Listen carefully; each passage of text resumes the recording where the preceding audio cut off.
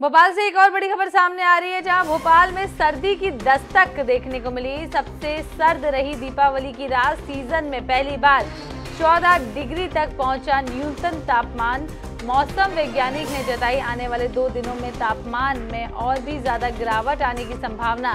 इन दिनों शहर में गुलाबी ठंड का दौर भी जारी हो गया। इस माह के आखिर तक 11 डिग्री तक पहुँच सकता है तापमान। बड़ी खबर आपको बता दें, भोपाल से आ रही है, जहाँ सर्दी ने दस्तक दे दी है और अब दिवाली के दिन सबसे ज़्यादा न्यूनतम तापमान यहाँ पर दर्ज किया गया और 14 डिग्री यहाँ पर तापमान दर्ज किया गया था। आपको बता दें, इस माह के आखिर में 11 डिग्री तक तापमान पहुँच सकता है।